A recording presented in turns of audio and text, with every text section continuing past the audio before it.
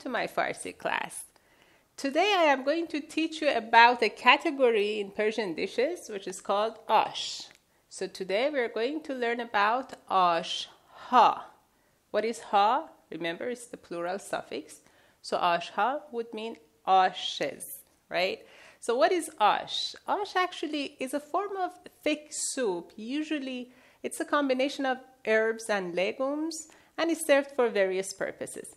Now, this is very important for you to know that ash actually has a cultural significance for Iranians. Uh, during a lot of you know religious uh, ceremonies or cultural ceremonies, ash is served. In fact, uh, there is a very beautiful tradition which is called Nazr, and Nazr means when a person, for example, wants something from God, they make a promise to God if their wish is uh, fulfilled they will make ash and they will distribute distribute it you know in the neighborhood and giving it to people around them or to the poor people. So uh, that is why it's important for you to know about ash. Okay so remember it's a, some form of soup. It's not exactly soup it's kind of thicker. And uh, it really has uh, some importance for us especially now uh, that we are approaching the cold season. Many iranian households uh, will start you know with ash uh, a lot of people actually um, they really enjoy uh, eating ash during winter. So I just wanted you to know about this. Okay, so let's start with the first one, ash reshte. Okay, what is ash reshte? Reshte actually means noodles. So probably this can be best translated as noodle ash. Uh, in reality, ash reshte is the standard ash for Nazr, the tradition that I just told you about. So a lot of times, you know, you may hear someone knocking on your door, you will open the door. One of your neighbors has brought you ashe reshte, which is also called ashe nazri, which means one of the, their wishes was fulfilled, and now they're uh, basically fulfilling their promise to God by serving ash.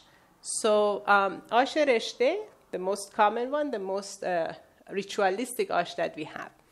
Uh, then we have Ashe Shole Qalamkar. Now, this is a very long word, so one more time. Ashe Shole Qalamkar. Now, this ash actually is a combination of uh, herbs and meat also. Uh, it's one of the rare cases where actually you see meat in an ash. Usually, ashes are legume and herbs based. So Ashe Shole Qalamkar also, you know, has its own cultural significance, but it's funny for you to know that when a situation is a mess in Farsi, we can say which means it's such a mess. The reason is there are so many ingredients in and we kind of associate it with complicated or messy situations. So it's kind of like, you know, like a uh, metaphoric or figurative usage, you know, of the name of this ash. Now, let's go to Ashe Jo. This word, is, this tiny little word here, means barley. So jo is barley ash. It's actually quite popular, especially you know in the western side or the northern side of Iran when the winters are quite cold. jo is pretty popular. Now there is another thing. Actually, we also have supejo. Now supejo is another popular dish. Um, it's actually like a little bit watery and kind of less dense compared to jo, and uh, we don't put herbs in it. But again, it's made with barley. The last one is ashe mash. Mash actually refers to mung beans, the little tiny green beans. So ashe mash means uh, ash of mung beans. And this one is pretty cool also. I mean, I, I personally love this. This is one of my favorites. Uh, we also have a rice dish made with mash, which is called mash polo, which is actually mung beans and rice.